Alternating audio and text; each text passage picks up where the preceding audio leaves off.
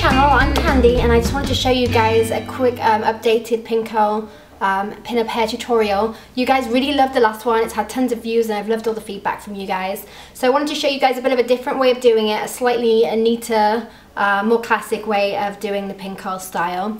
This time, instead of using the flat irons like I did with the other one, I, um, I actually used a 3 quarter inch curling iron uh, which some of you may find easier to use. I use the 3 quarter inch because it gives a bit of a tighter curl rather than um, the usual uh, 1 inch curling irons. They don't tend to do the job quite so well. So yeah, so I hope you guys enjoy this um, tutorial on this pin-up kind of curly style and give it a go. Let me know what you guys think and let me know. And uh, I hope you guys enjoy it. Let's do this. So I'd recommend starting with day old or a couple of day old hair so it's not super clean because clean hair tends to be kind of difficult to use. So I'm going to grab my teasing brush right here which I pretty much use for everything and just start um, with a nice deep side part on the side that I prefer to part on which is always the same side.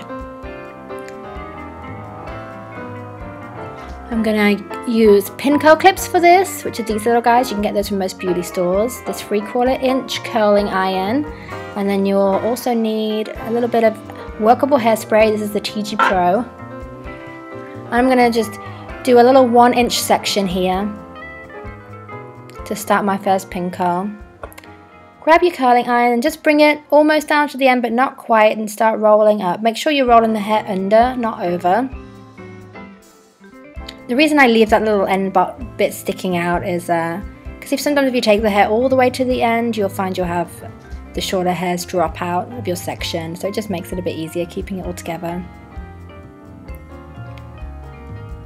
So you just hold that for a few seconds. I always just give it a little tap to feel that it's hot all the way through and then just secure that with one of my pin curl clips.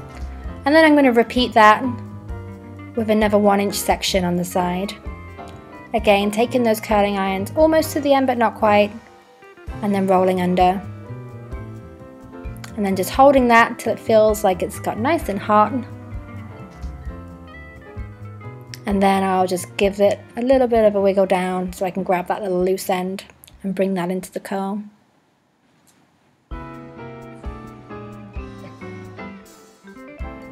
Then again, once that's hot enough, I just poke that little end inside and then just clip that in with the with the pin curl clip. I'm gonna speed this up a little bit. So just continue curling in little one inch sections till you've got another row that just reaches kind of just behind your ear.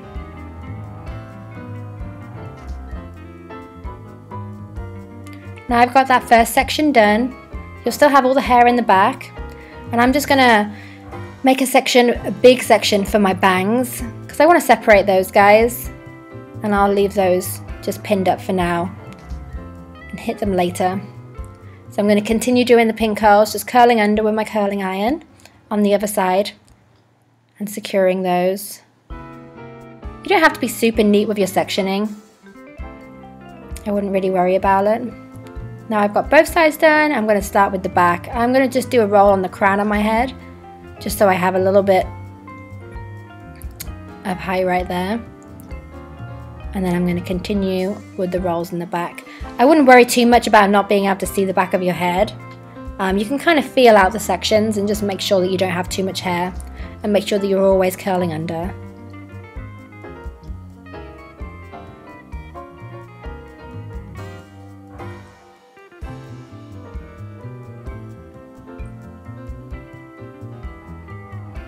So now I've got all of my hair in little pin curled sections.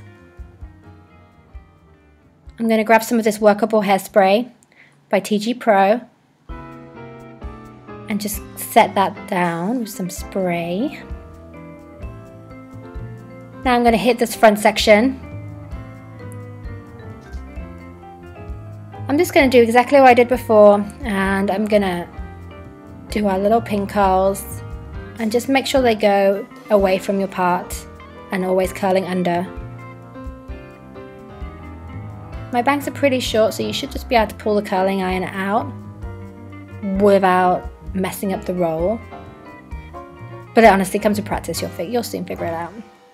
So now I've got those three rolls in the front. You can always do more if your hair's a little bit thicker than mine. I'm going to use that workable spray just to set that. Now just give your hair a good feel and make sure it's all cooled down before you start taking out the clips. Sometimes I'll do this. Um, I'll, I'll set my hair and then I'll sit and do my makeup, which takes about 20 minutes, and then I'll take the, the clips out. But mine felt nice and cool, so I figured I'd get the show on the road.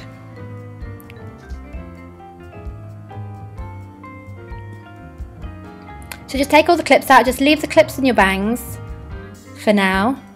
And then just start running your fingers through your hair and just slowly breaking up those curls. And then I'm going to use my teasing brush just to softly brush out the curls. Now, duckbill clips. So just take your hair and kind of smooth it out on the side and then take that duckbill clip kind of just behind your ear and just pin down that hair and then just kind of overlap these duckbill clips all the way around until they kind of meet all the way.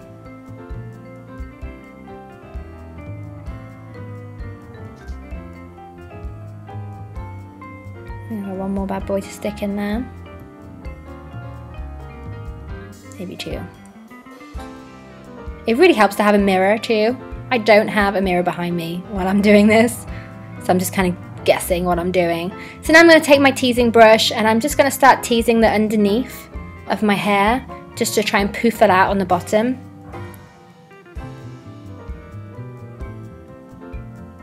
My hair's pretty fine on the end, so I kind of get a lot of wispy bits. So just make sure you get all those wispy bits and tuck them under. And just take your time with this. Use a mirror. Try and get a mirror behind you so you can make sure you've got all of the hair tucked under.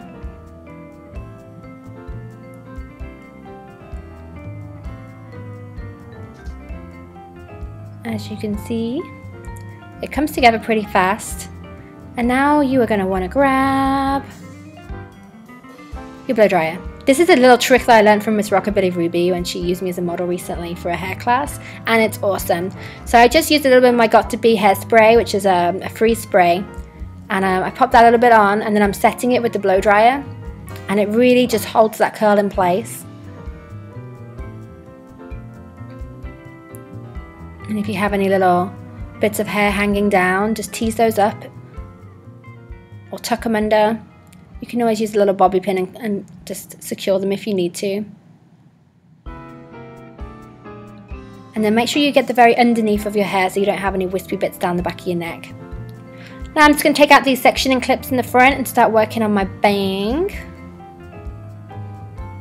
So I'm just running my fingers through just to break it up and then I'm going to grab my teasing brush and just tease in like a C motion on the root and try and make sure you're teasing those uh, sections together so you don't have any breaks between them where they were where they're originally curled and I'm going to use my hand just to kind of brush and mold the hair over into a nice big curl in the front. Honestly with this I wouldn't fight your hair I would just kind of see what your hair wants to do and work with it. I've got this little bit right here on the end that kind of wants to curl in so I'm just going to smooth that out with my fingers and just pop that where it wants to go. I'm using a bit of the freeze spray just to kind of hold that in place. Make sure you just spray a little bit on the inside too so you don't have any nasty rough looking hair there. I have a little break in my part there so I just took the comb over. A bit more hairspray, a bit more blow dry just to make sure that's nice and secure.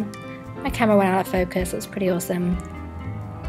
So that should be how it looks in the back. I've got a little break in the back there, which is really annoying, but again, I didn't have a mirror, so that's definitely something you can smooth over later. It's not a big deal.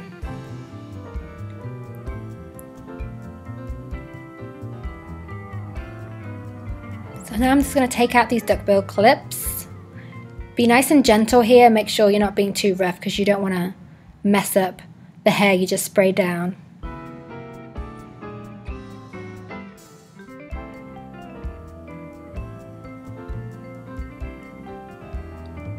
So once you've got all those clips out, you can use your, your comb or a brush and just gently go over where the clips were so you don't have any dents in your hair.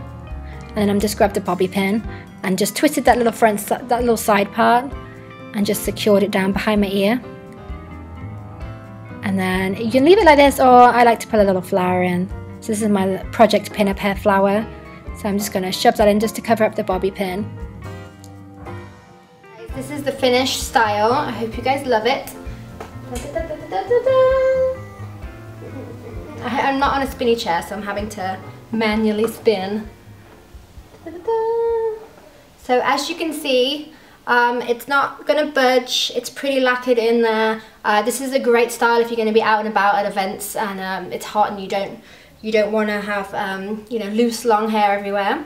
Uh, this style, it's great for short hair. I kind of got like mid-length hair. It works really well for that too. And then if you do have longer hair, you may just need to tease a bunch and uh, pop a few bobby pins in um, to try and keep that kind of like faux bob style. So let me know how you guys get on and thank you for watching and hit the subscribe button if you like it and I'll see you guys on the next video. Bye.